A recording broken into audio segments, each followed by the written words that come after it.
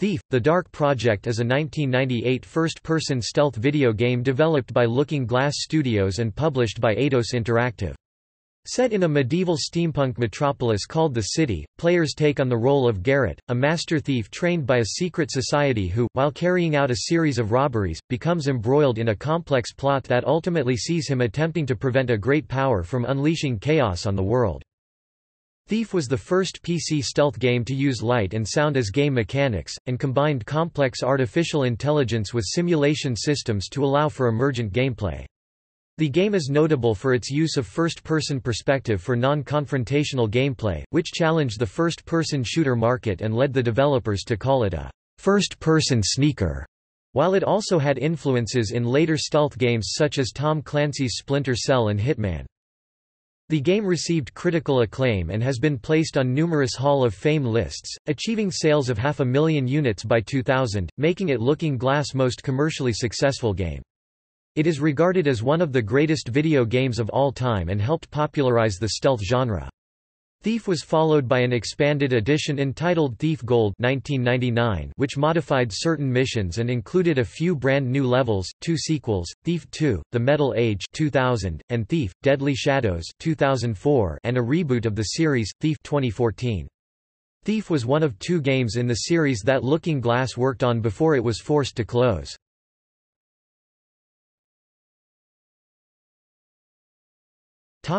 Gameplay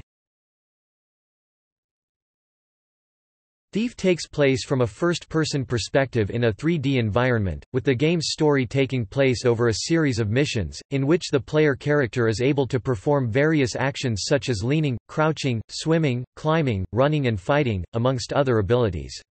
Levels are largely unscripted and maze-like, and allow for emergent gameplay, while non-player characters NPCs may either remain stationary or walk about on a patrol route. Players have the freedom to choose how to get around them and the obstacles in a level's environments in order to complete specific tasks, such as getting through a locked door.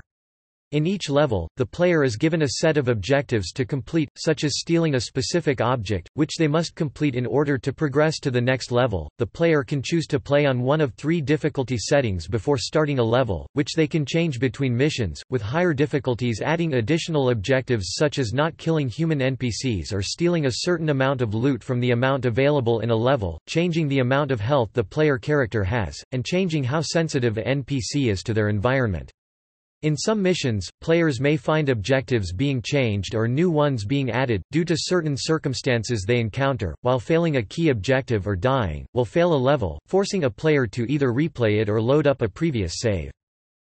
As the game's emphasis is on stealth, players are encouraged to focus on concealment, evasion, distraction, misdirection, and subtle takedowns, rather than on outright confrontation. The player's character can engage in sword based combat when the need arises, and can perform three different attacks as well as parrying, but has limited proficiency and damage resistance in such circumstances. To do so, players must remain aware of their surroundings. To assist them in remaining hidden, a special meter on the heads-up display HUD, in the form of a gem, helps to indicates the player's visibility to NPCs. The brighter it is, the more easier they can be visually detected, thus sticking to dark, shady spots where the gem dims, ensures the player is hidden, though NPCs can still find them if they get too close in front of them. To remain quiet, players must be careful of how much noise they produce, as well as what surfaces they are moving over. Walking on soft surfaces like carpets and grass is preferable as footsteps remain quiet, compared to walking over metal floors and ceramic tiles, which produce a lot of noise. NPCs also produce noise, either from whistling, or walking about for example, which can help players determine where how far away they are to their own position. Noise can be used by the player to mislead, distract NPCs, such as throwing an object to lure them elsewhere. The game's NPCs feature artificial intelligence AI systems that detect unscripted visual and oral cues. If an NPC sees or hears something out of place, it will react to this, depending on the level of its suspicions. If for a brief second, they will simply ignore it, but if for long enough, they will become alert to their surroundings and begin searching the area. NPCs will react to things such as clashing swords or the reaction in other NPCs' voices, as well as to visual changes to their environment, such as bloodstains, opened doors and fallen bodies. Players can avoid leaving visual clues by cleaning them up, such as hiding bodies. NPCs are divided between three categories. Guards, servants, and non-human, whose reactions vary. Guards will call out an alert if they spot the player and attack them. Servants will run for help if they spot the player or a body. Non-human NPCs will merely pursue and attack the player. If a guard is significantly injured, he will try to escape and find help. Some non-human NPCs will merely flee. Non-human characters range from giant spiders, feral creatures, to zombies and ghosts, with certain levels containing survival horror elements. To assist them on each level, the player character carries with them a few pieces of equipment, a blackjack, which can incapacitate humanoid NPCs, a sword, which can kill NPCs, and a bow, which can be used for ranged combat as well as a tool.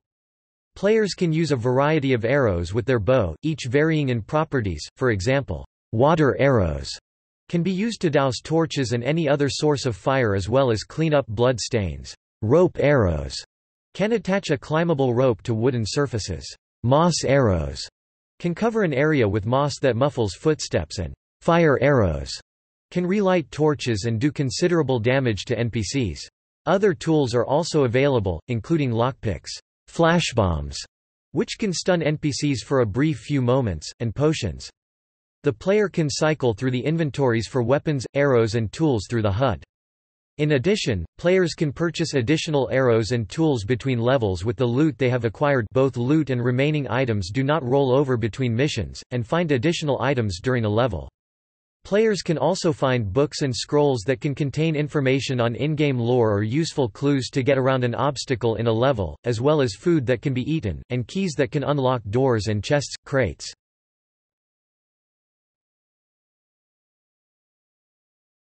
Topic. Plot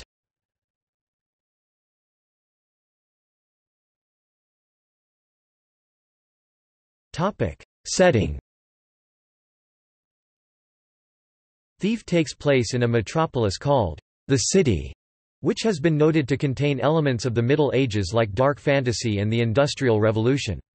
Project director Greg Lopiccolo said in an early preview, In essence, it's this undefined medieval age, sort of medieval Europe meets Brazil meets City of Lost Children.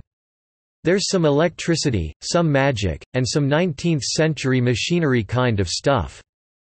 The setting has been described as steampunk, a fantastical setting where steam engine technology is prominently used. During levels, the player may learn about the setting by finding notes and overhearing conversations. It has been noted that the player participates in the revelation of Thief's setting. The city contains three factions the Keepers, and two opposing religious orders known as the Pagans and the Order of the Hammer, or Hammerites. The latter two have been cited as representations of chaos and order, respectively. The neutral, secretive Keepers strive to maintain balance within the city. The Hammerites worship a deity called the Builder and believe in progress, craftsmanship and righteousness. The pagans, who have been described as primitive, almost animalistic, worship the dangerous trickster god and value the natural world. It has been assessed that the design of each group's architecture reflects their beliefs.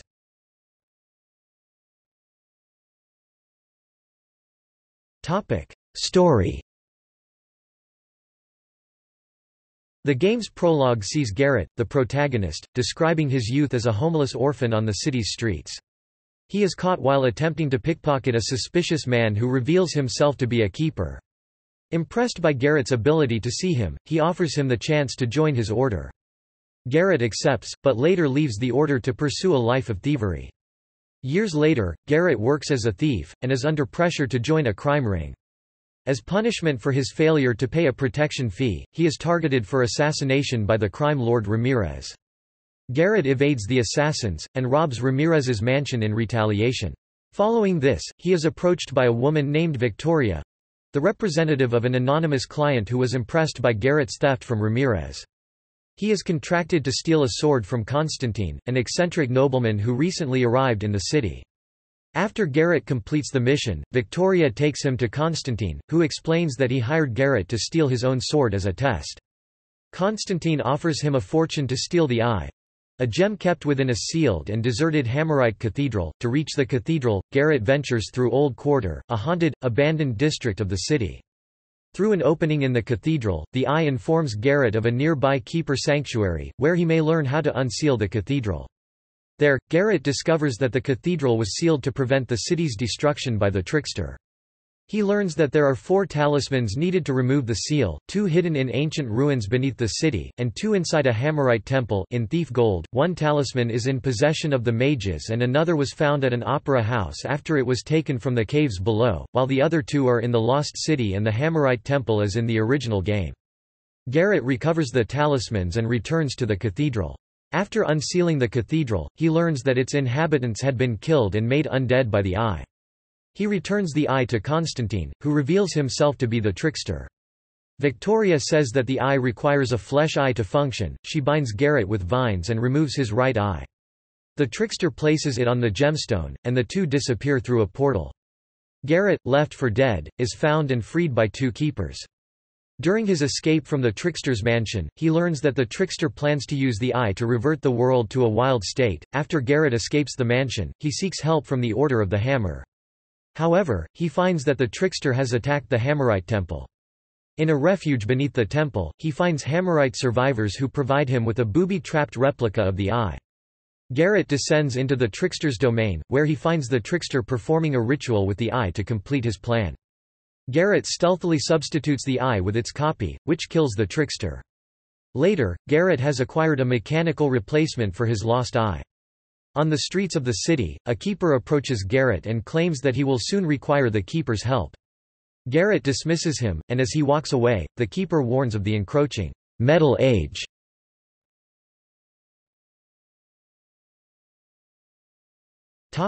Development.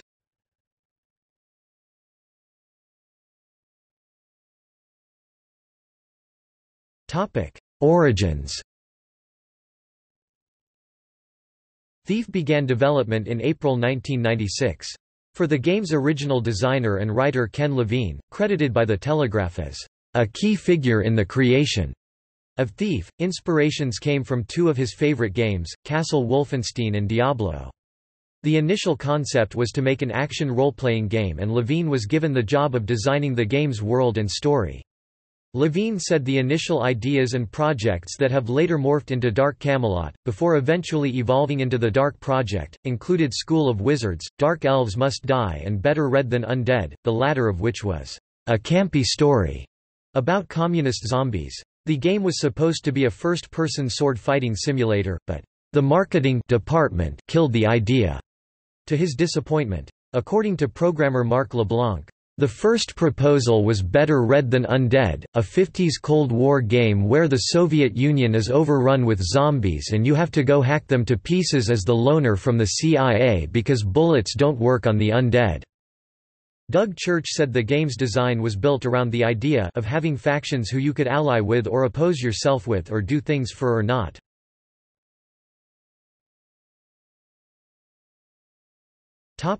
Dark Camelot The next concept, Dark Camelot, still focused on sword combat. Its plot—an inversion of Arthurian legend—featured Mordred as a misunderstood hero, King Arthur as a tyrannical villain and Merlin as a psychopath. According to Church, the game featured Morgan Le Fay as Mordred's sort of good advisor and Guinevere as a lesbian who would betray Lancelot and help Mordred to break into Camelot and steal the Holy Grail. The game's design combined a first-person perspective with action, role-playing and adventure elements.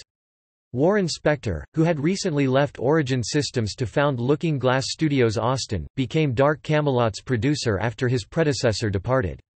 Artist Dan Thron said, for a good long time, we had no idea what the game was about, until somebody stumbled upon the whole thief gameplay where you're not just running out trying to chop people up."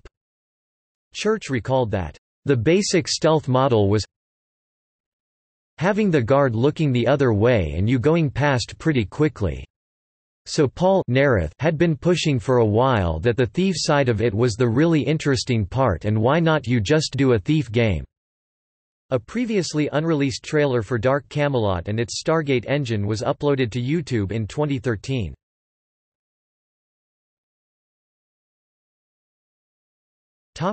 Production In early 1997, Dark Camelot's name was tentatively changed to the Dark Project and its design altered to focus on thievery and stealth. Nevertheless, some levels originally designed for Dark Camelot ended up in the final product. In March, project director Greg Lopiccolo described the game's design, "...essentially we're building a type of simulator where object interactions are correct and physics are tied in correctly." Then lead designer Jeff Yowes reiterated, "...the goal is for everything to behave as it should. For example, things that burn will burn, and then it's up to the player to decide to burn things, whether or not we've anticipated it." The first draft of Stealth Design was presented by Levine and Dorian Hart on April 4. Levine said inspiration for the idea of being powerful when undetected but very vulnerable when exposed came from the concept of submarine warfare and in particular from the 1985 simulation video game Silent Service. Multiplayer support was planned, including the «theft match» mode a pun on deathmatch where small teams of thieves compete under time pressure to steal the greatest value of swag from the territory of wealthy NPCs and their guard. Full-scale development on the Dark project began in May 1997, with a frantic work on a demo level and trailer for E3 1997. Originally announced to come out in summer 1997, the game was delayed to winter 1997–98, however, Looking Glass Studios experienced serious financial trouble as development progressed into mid-1997. The company's Austin branch closed, costing Spector and several game engine programmers. This team relocated to Ion Storm, and released Deus Ex in 2000. Spector later called his impact on Thief, at best, minimal. Levine too had left the Dark Project project before the Keepers factions was added to the game. By April 18, Looking Glass Studios laid off half of its entire staff in six months, which damaged morale of the Dark Project team, which at this point was vastly different from the one with which the development began. Few emotions can compare to the stress of heading to work not knowing who might be laid off, including yourself, or whether the doors would be locked when you got there." Lead programmer Tom Leonard later said. This stress caused several team members to voluntarily quit, including the lead programmer Briscoe Rogers who had designed the game's AI system, which suffered from software bugs and problems with complexity. When Leonard took over the position of lead programmer, he believed that the AI system was fixable. Over several months, he learned that the pathfinding database code that helps AI navigate a map was unsalvageable. He completed the design but not implementation of a new system by November 1997, using an estimated one-fifth of the original code. Several features were removed during development, among them multiplayer support, a complex inventory interface, and branching mission structures. Leonard said they focused in on creating a single-player, linear, mission-based game centered exclusively around stealth. He believed that the removal of multiplayer support and the game's renaming from the Dark Project to Thief, the Dark Project solidified this in the minds of the team. The game was renamed on April 3, 1998, the new title being much more descriptive and inspired by that of the role-playing game Vampire, The Masquerade. Several features have been brainstormed and rejected, including Spider-Man-esque ability to climb on walls and ceilings and the shrinking and invisibility potions. By summer 1998, the team was challenged by exhaustion and the game's numerous simulation and AI glitches. These problems resulted in what Leonard later described as a game that could not be called fun. Implementation of Leonard's new AI system was halted so the team could quickly assemble proof of concept demos. Publisher Eidos Interactive had grown skeptical over the team's vision. Work on the AI did not resume until March 1998, and after 12 more weeks of constant work, it was ready for what Leonard called real testing. Three months before the game's scheduled ship date, most problems had been resolved. The team began to believe, as Leonard described, that Thief did not stink, and might actually be fun.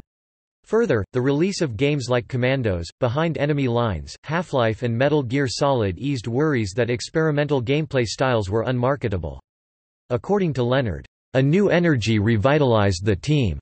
Long hours driven by passion and measured confidence marked the closing months of the project. The game went gold in November 1998, following an estimated 2.5-year development cycle and a $3 million budget.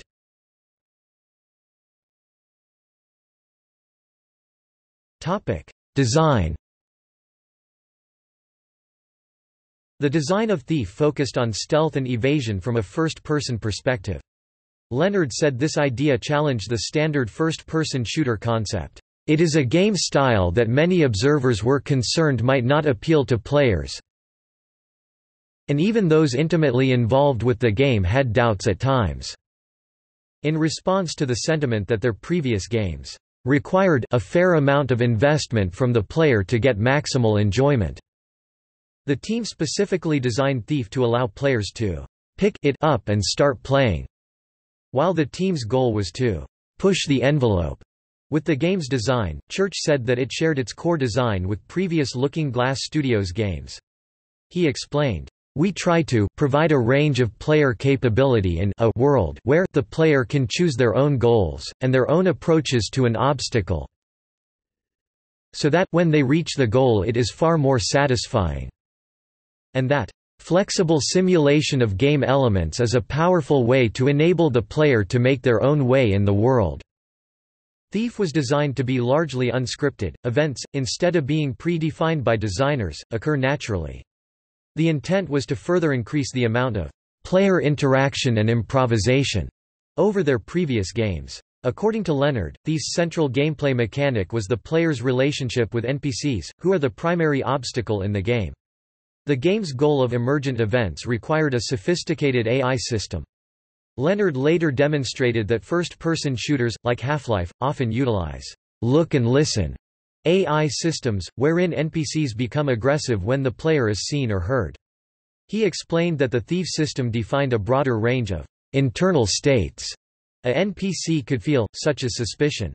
For example, a NPC who heard a suspicious noise would investigate rather than become immediately hostile. Designer Randy Smith said, In Thief the safe boundary is often between light and shadow.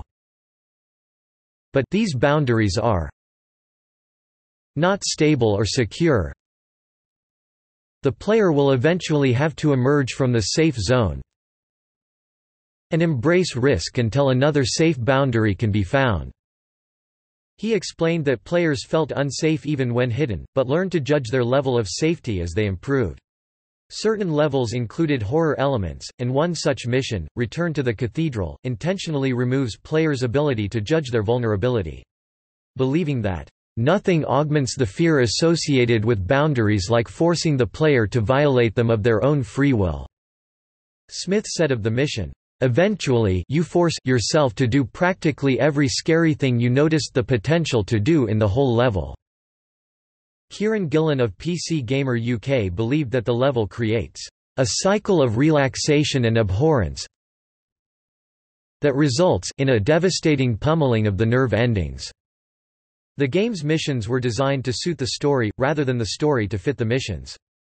Taking inspiration from GoldenEye 007, the team added a difficulty system that changes mission objectives, Leonard said. It allowed the designers to create a very different experience at each level of difficulty, without changing the overall geometry and structure of a mission. This gave the game a high degree of replayability at a minimum development cost. The team extended the concept by decreasing the player's ability to kill human characters on higher difficulty settings. Writer and voice actress Terry Brosius said, "...we took pains to make sure all the missions could be won without killing any humans."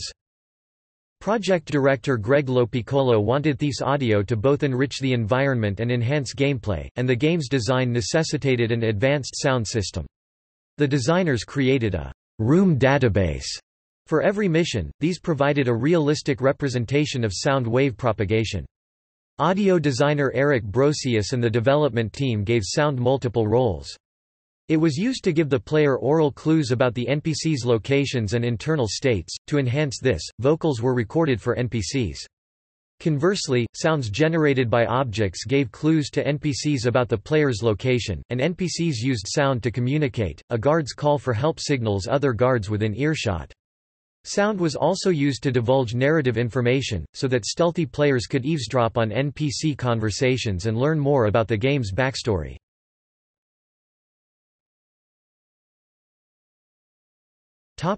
Technology Thief was developed with the Dark Engine, a proprietary game engine. It was written during the game's development, rather than as a separately budgeted project, which led to time constraint issues. An emphasis was placed on simulating real-life physics, arrows would arc through the air rather than fly straight. The engine features alpha blending, texture filtering and lighting techniques. Motion capture technology was integrated to allow for realistic character animation. The engine's renderer—which draws the graphics, was largely written by Looking Glass Studios programmer Sean Barrett in fall 1995. While the renderer was expected to be finished before the game's release date, Barrett left the company in 1996. He later performed contract work for the company, and assisted in writing features like hardware support. However, the renderer was never fully addressed, and was less advanced than others of the time. The Dark engine was designed to be reusable, and to give programmers the ability to easily integrate their work. LeBlanc wrote the Dark Object System, which became the center of this concept. According to Leonard, the object system was a general database for managing the individual objects in a simulation. Designers were able to alter the game's behavior by manipulating objects—the content that composes the game—without writing additional code. The system also managed source data, the game's tangible content such as textures, maps, models and sounds. An unfinished build of the Dark engine was used to develop System Shock 2, a collaboration between Looking Glass and Irrational Games. The object system worked so well that Thief and System Shock 2 used the same executable for most of their development.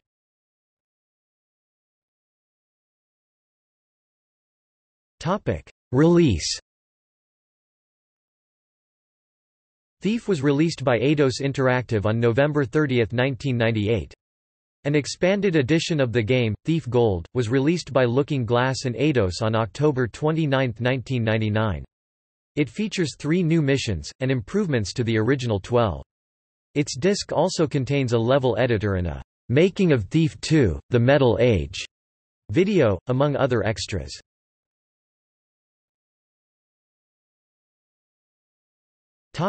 Reception Thief, The Dark Project received critical acclaim from sources including The Washington Post, PC Gamer, and Salon.com. Lance A. Larka of Computer Gaming World wrote, "...if you're tired of Doom clones and hungry for challenge, give this fresh perspective game a try. I was pleasantly surprised."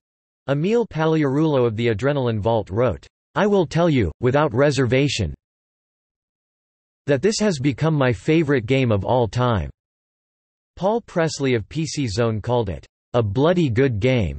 Kieran Gillen of PC Gamer UK wrote, The Freedom Thief offers you is at first terrifying, then absolutely intoxicating. Aaron Curtis of Los Angeles Times noted that the game demands thought. T. Liam McDonald of PC Gamer US called Thief, a challenging, riveting game that defies easy categorization, and praised the game for its focus on the player's cunning. Jason Cross of Computer Games Strategy Plus noted that, "...it's quite amazing how much fun it can be to avoid action." Chan Chun of New Straits Times described the game as being, "...incredibly immersive and suspenseful," and "...a highly recommended game for those yearning to be a night rogue." Peter Olofsson of GamePro praised the game's AI, and said that the game gets better the more time you spend with it. The game's sound was widely praised. Presley wrote, the sound adds a whole new level of realism to the game and boosts that whole total immersion thing to previously unattained levels. Larka noted that, the audio is simply amazing. With directional noises and haunting background effects you are plunged into Garrett's shadowy world and left with a pounding heart and twitchy nerves. Wagner James Au of Salon.com noted that the game's level of suspense was exquisite, and that its use of detailed oral cues as a gameplay device bordered on virtual reality. Thief's graphics received a mixed reaction, with several negative comparisons to Half-Life and Unreal. However, Andrew Sanchez of Maximum PC praised the game's graphics and noted that the Dark engine went feature for feature with the Lithtech, Quake, and Unreal engines. He also praised the game's AI, sound and plot. Larka disliked the game's extremely dark areas, which required him to max out the gamma correction and set his monitor to its brightest setting just to see the barest details, but called the graphics seamless. Some reviews complained about collision detection issues. The game's use of supernatural and cave exploring elements received criticism, and several reviewers opined that more realistic, mansion robbing missions should have been used instead. Presley believed that the game's undead enemies caused the game to degenerate into the standard hack in slash, sub Conan sort of thing that Heretic, Hexen and a million others gave us, and that it amounts to an erosion of the storytelling skills that Looking Glass once had. Gillen decried certain levels for infring on Tomb Raider territory, and then not quite pull it off. Larka found certain levels too difficult. Next Generation noted that while sneaking can get repetitive, Thief is still a fun game to play, and a worthy addition to the genre. Topic: Sales. In the United States, the game's sales reached 88,101 copies by April 2000. Its total sales reached 500,000 copies by May 2000, making it Looking Glass Studios' most commercially successful game.